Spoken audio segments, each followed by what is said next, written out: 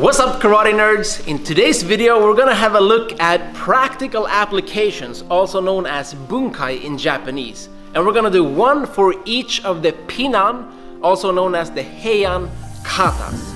Now, of course, there are unlimited applications to the techniques that you use in these kata. So we're just gonna do one sequence of each kata so that you can learn how to use these moves in an actual self-defense situation. Keep watching.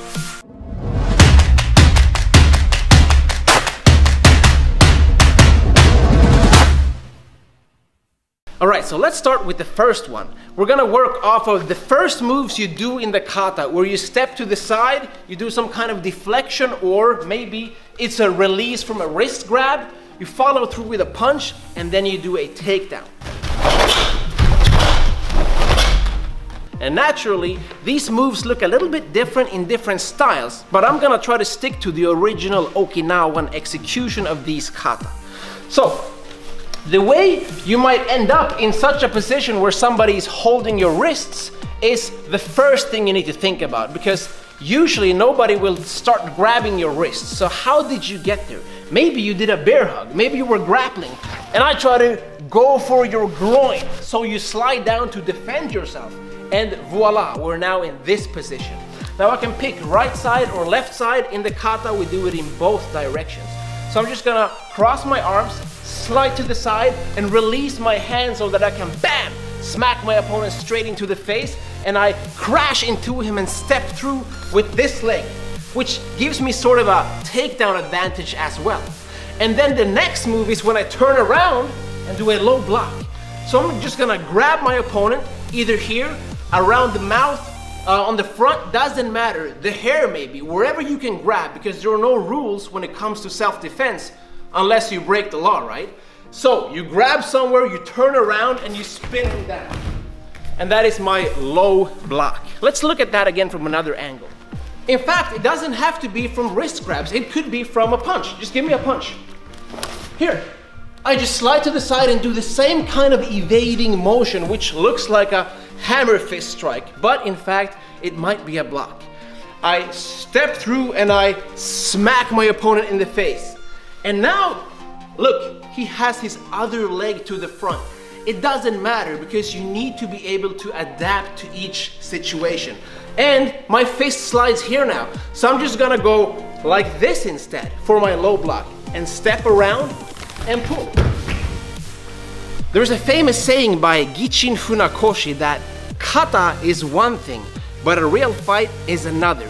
And this means that you need to be able to adapt each move from the kata according to each situation.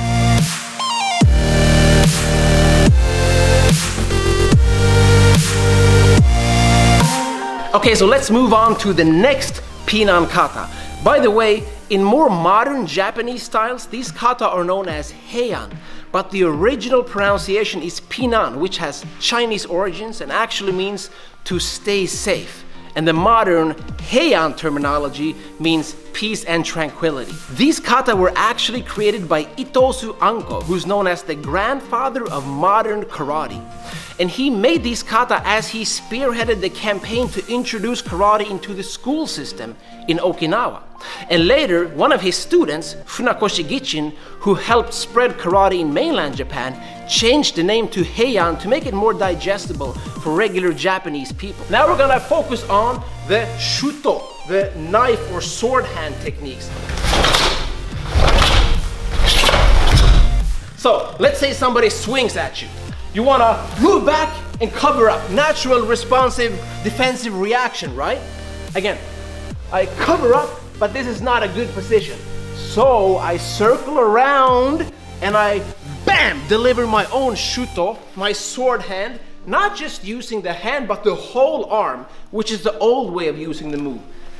Straight into the neck, using my whole body behind it. Now, it could end here. And of course, we do this on both sides in the kata. Let's try the other side. Defend, and then I step in. But of course, look at his natural reaction. He wants to defend himself. So let's use that response for my next move. Again, you attack me, I defend, I step in and you block. So what I do is that now I slide down and I grab your hand, your palm, your fingers, whatever I can grab, I stretch it out and I go for the third one. One, two, three shuto techniques in the kata. Bam. And then of course from here we have a nukite, a spear hand technique. So what I do is I step behind you and I execute a basic trip or a takedown for what looks like the spear hand technique, which of course is not penetrating your opponent's ribs and ripping his heart out, but actually a takedown technique.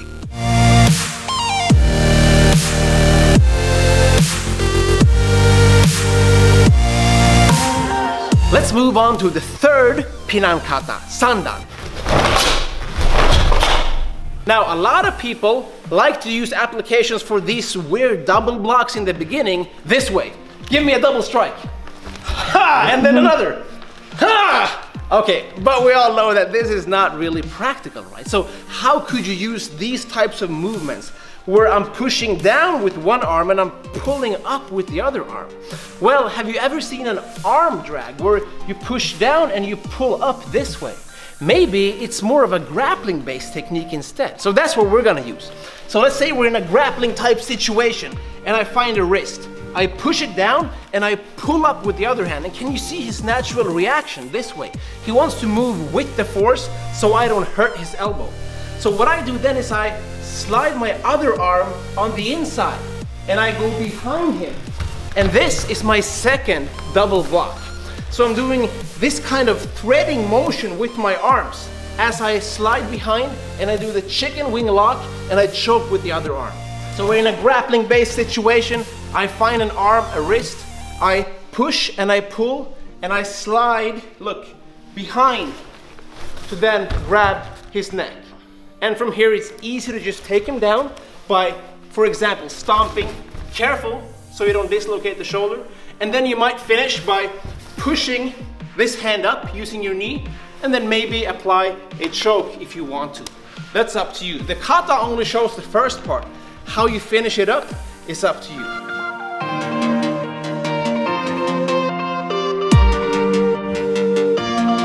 For Yondan, the fourth kata, we're gonna use also a grappling based application. Now, using the upper body, you always wanna control the inside of your opponent's arms or neck to stay in control of his movements, right? So that's what I'm gonna be doing here. But I'm gonna use these moves in the beginning of the kata. So, inside, neck control, bicep control. Doesn't matter what side because you do it on both sides in the kata.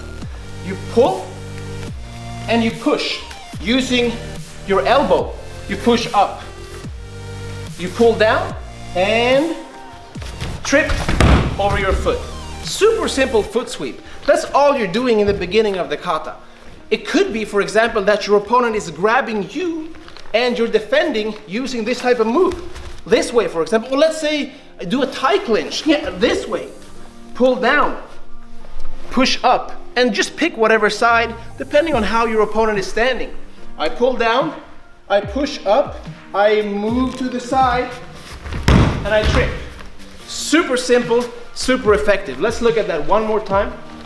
So one hand on the inside, other on the neck, up.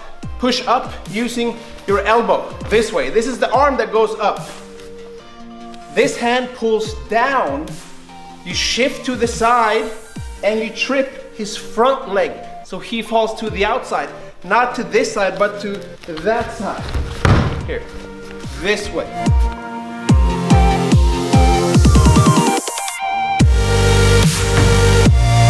For the last and fifth kata, we're gonna do a super simple move that you see in a lot of other kata too. And actually, these Pinan katas, as they were originally called, consist of a plethora of applications and techniques taken from many other older forms. That's the way Itosu designed them, so that he can teach safer and easier alternatives to these traditional katas to school children, as he wanted to popularize karate in its birthplace. So, let's look at this move. We do a high block and you spin your hands around and you follow up with other techniques. Something straight comes towards me and I'm gonna just cover up basically like this, using what looks like the high cross block. And then look, I keep this contact intact as I spin around and push down for an elbow lock. And then the next is easy. Just finish him up with the following techniques.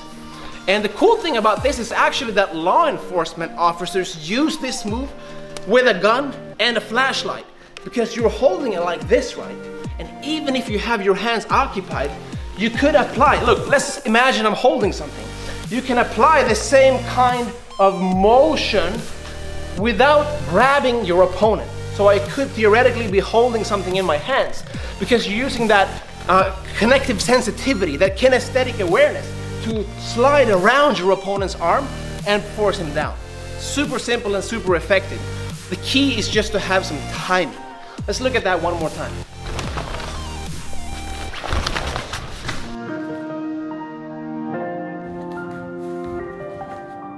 The original intent of the Pinan or Heian kata was physical cultivation, but the applications of the forms can be used whenever somebody attacks you to stay safe from harm, which is the original translation of the name itself. And I hope you enjoy that. Train hard, good luck, and have fun.